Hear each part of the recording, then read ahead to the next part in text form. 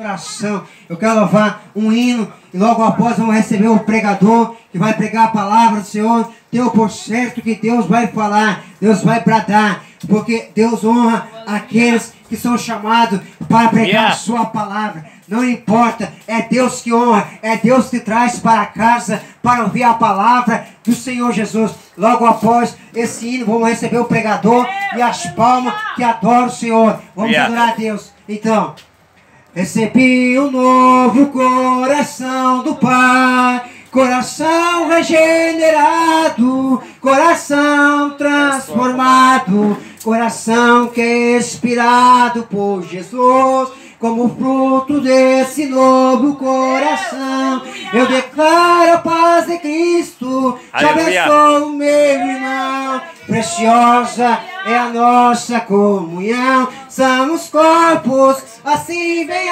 ajustados, totalmente ligados, unidos, vivendo em amor, uma família sem qualquer falsidade, vivendo a verdade, expressando a glória do Senhor, uma família vivendo o compromisso do grande amor de Cristo. Eu preciso de ti, querido irmão. Precioso és para mim, querido irmão.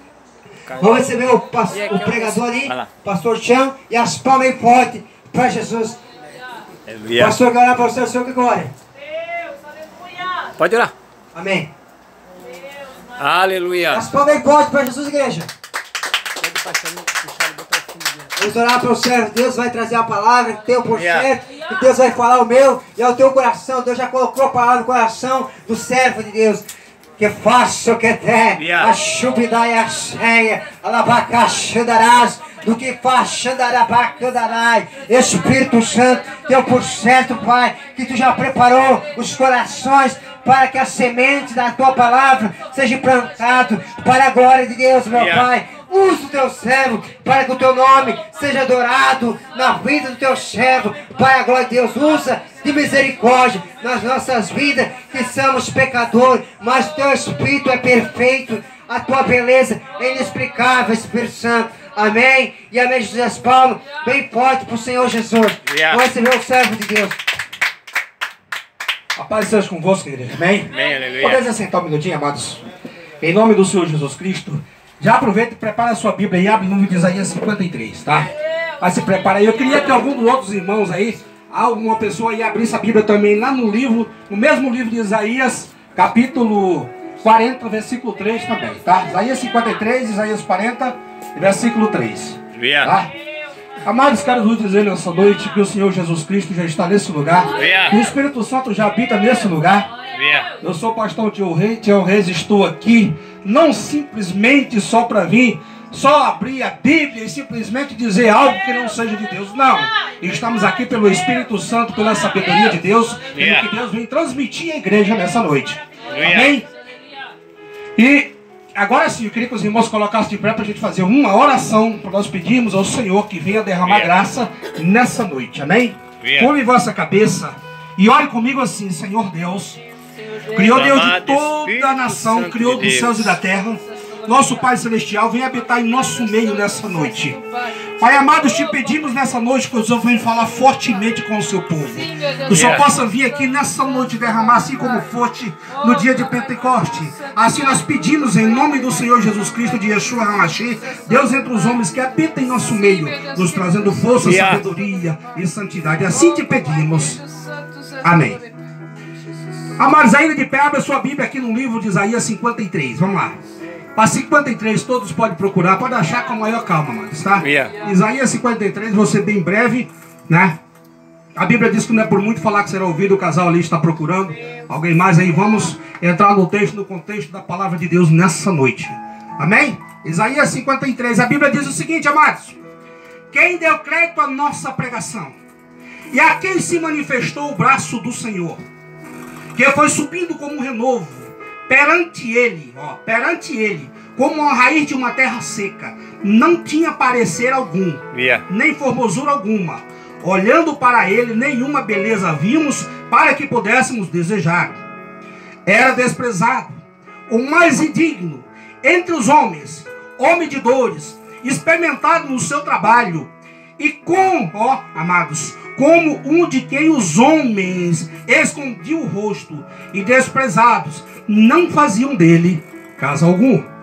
Pode assentar, amados. Pode assentar em nome de Jesus Cristo.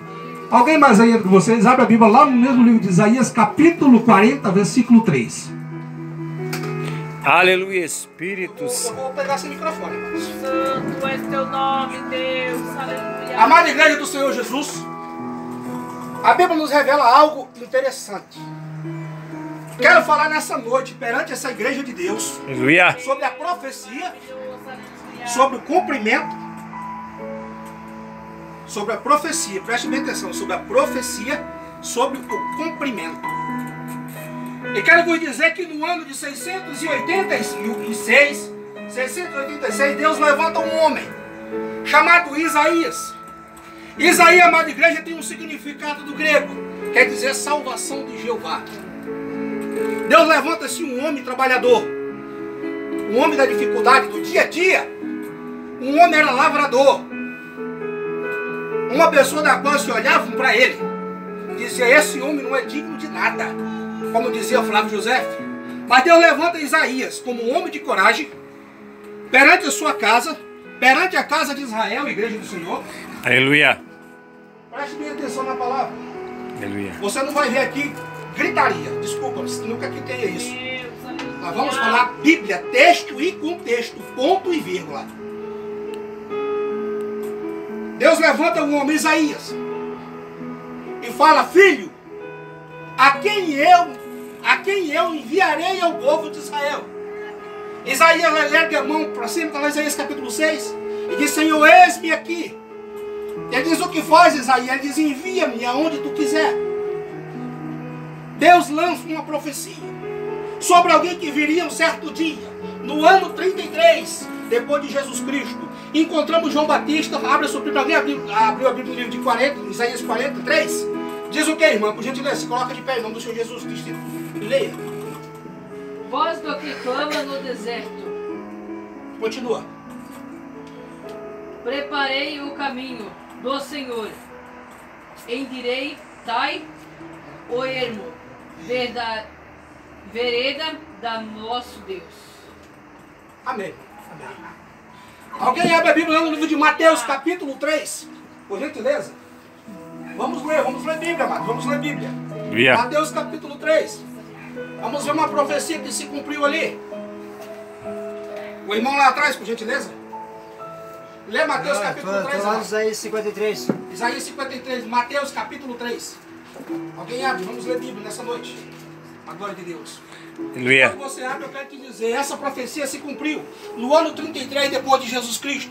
Aonde lá no ano de 686, o Senhor Deus, Criador de todas as coisas, se levantou Isaías para trazer a sua palavra no futuro.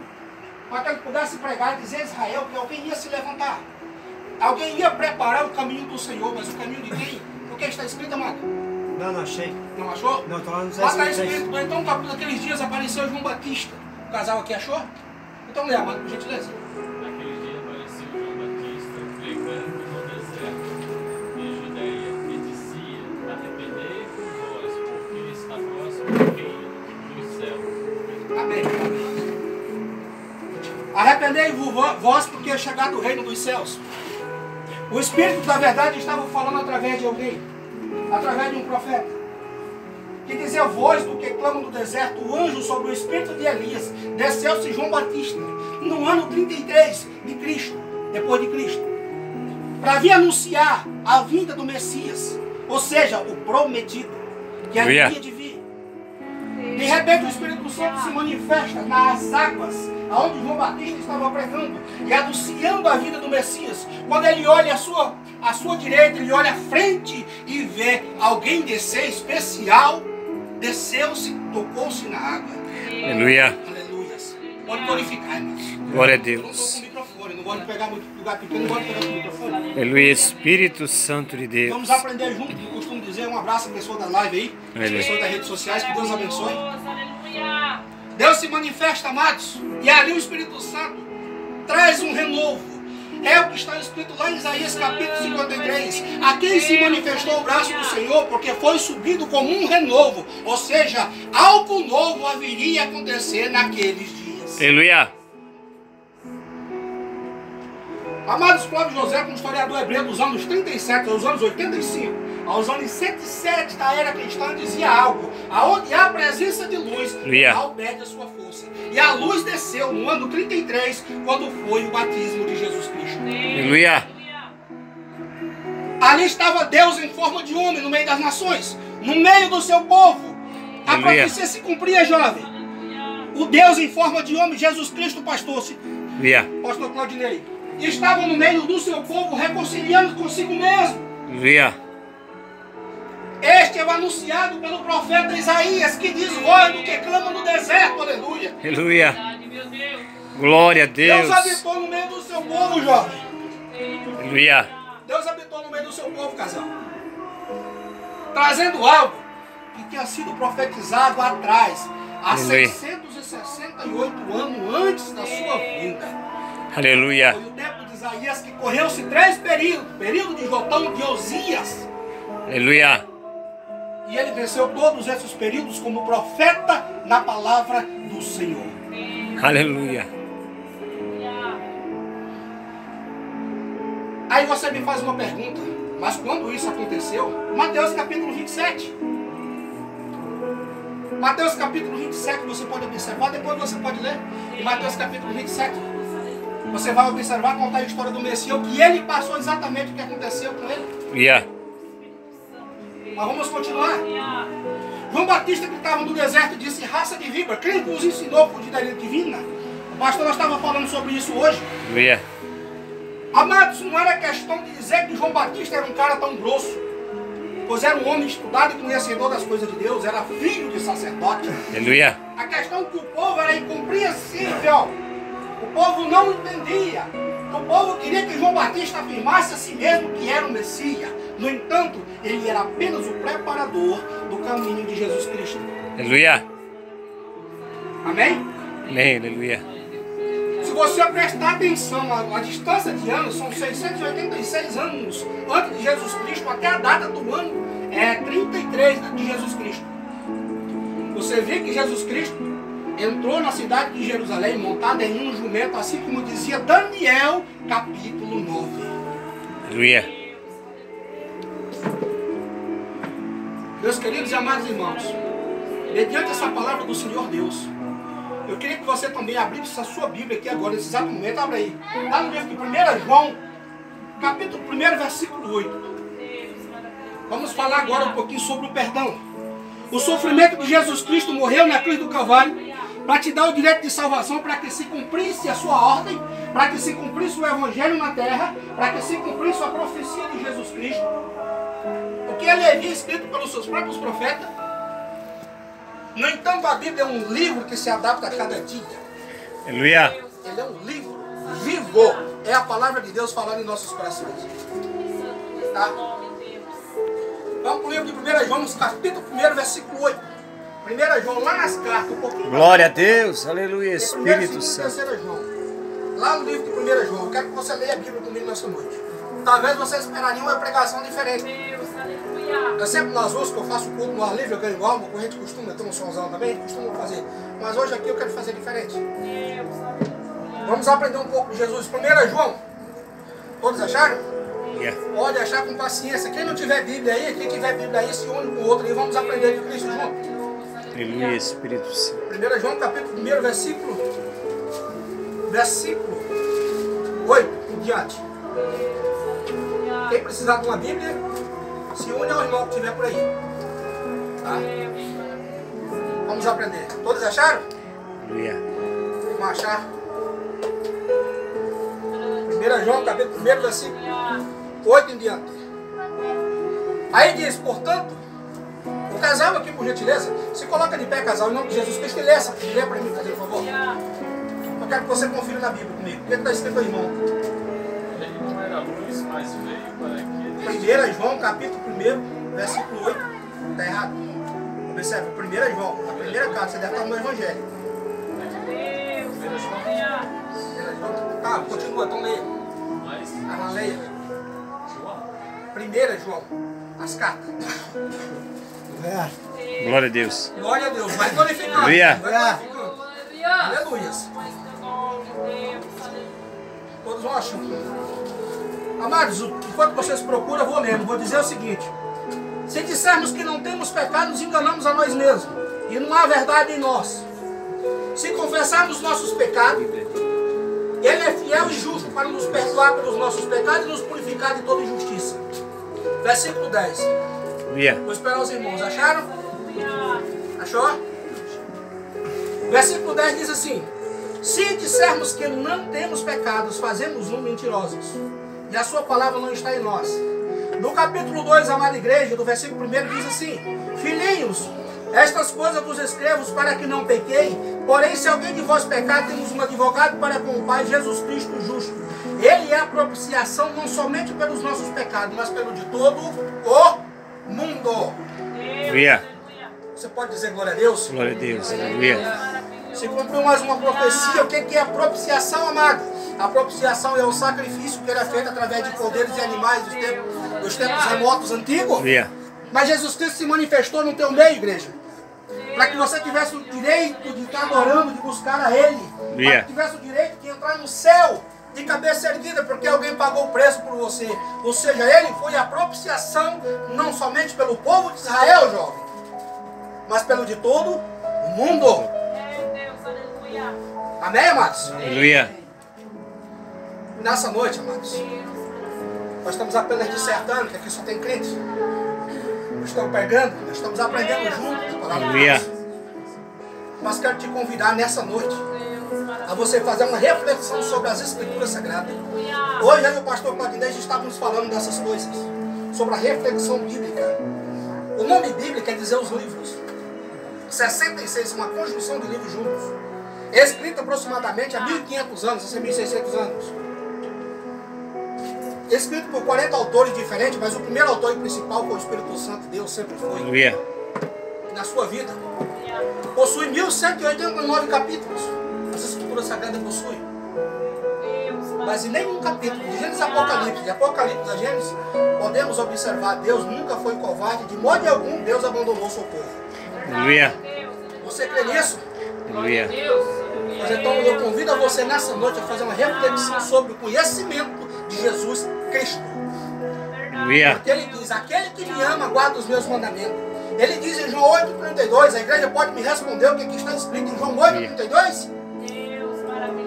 Conhecereis a verdade, É verdade vos libertará. conhecereis a verdade. É verdade vos libertará. Que verdade é essa, igreja? A Bíblia Sagrada, a palavra dele.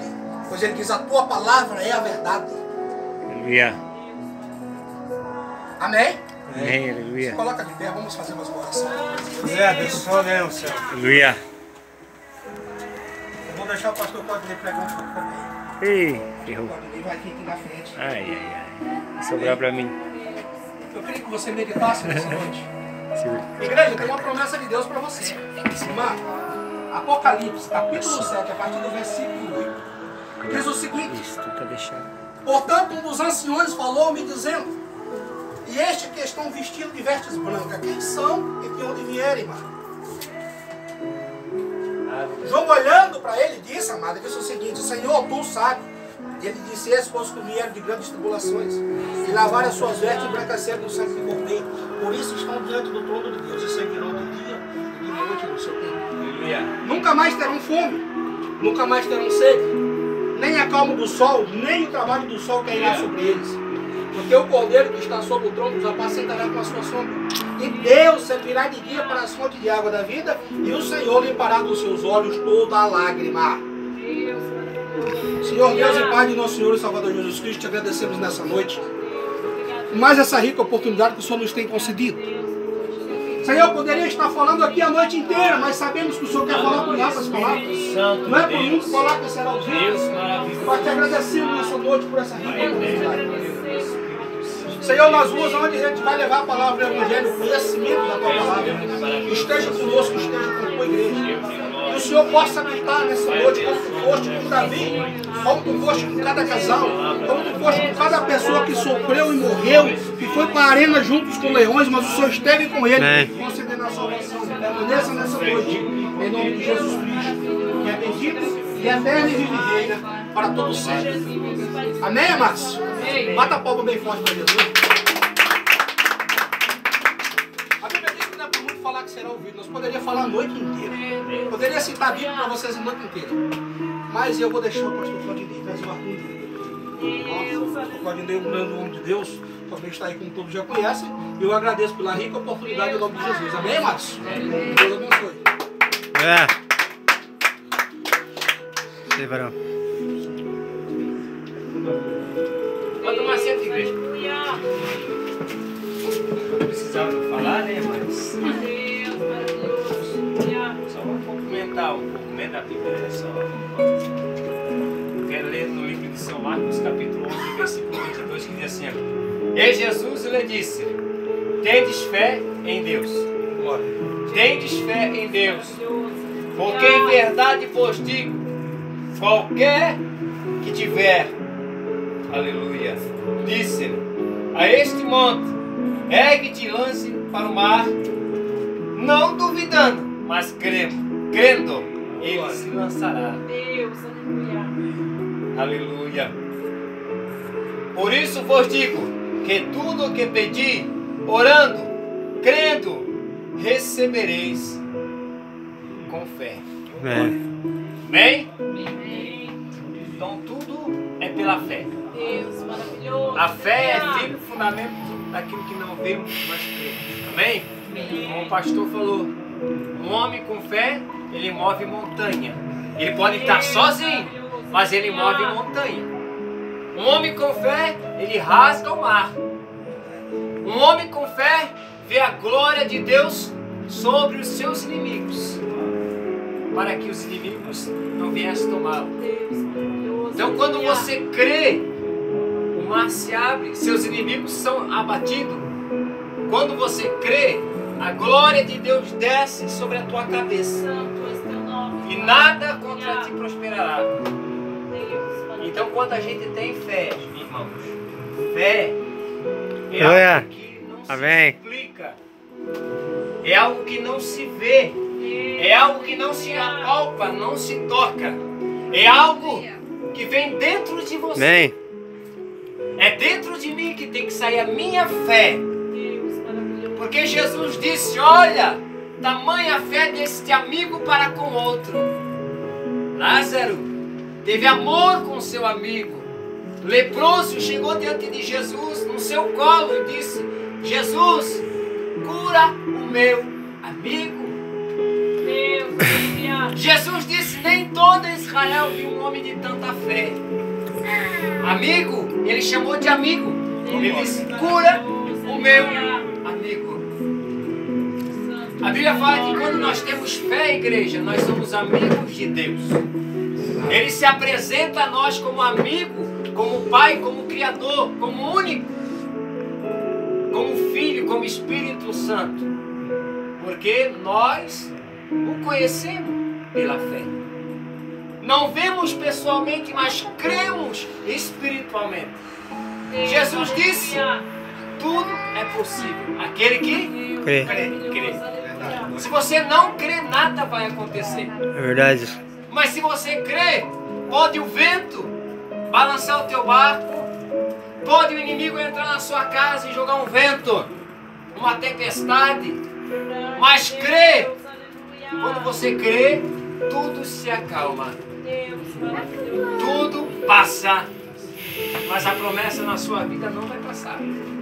Se você estiver no caminho do Senhor, quando nós estamos no caminho, o Senhor garante a vitória, garante a promessa. Porque nós temos que crer. Nós temos que ter o quê? A base. Qual é a base? A fé. É firme fundamento de todas as coisas espirituais.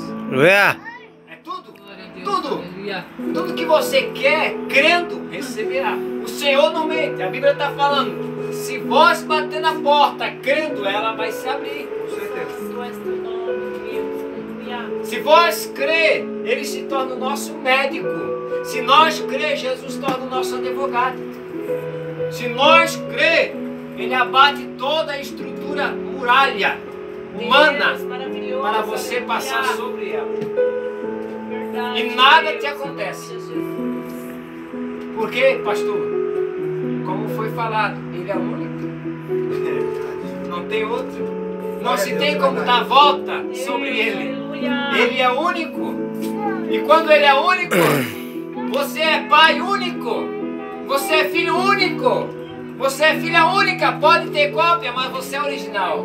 Deus, aleluia. Podem te copiar, mas você é original. Podem ser parecidos, mas é você original. Você é dele. Nós somos dele. Para com ele e para sempre é ele. O teu filho, às vezes, não vai ser o que você é.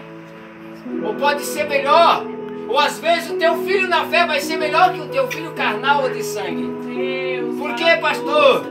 Porque a palavra de Deus fala que ele habita seu espírito sobre a carne purificada.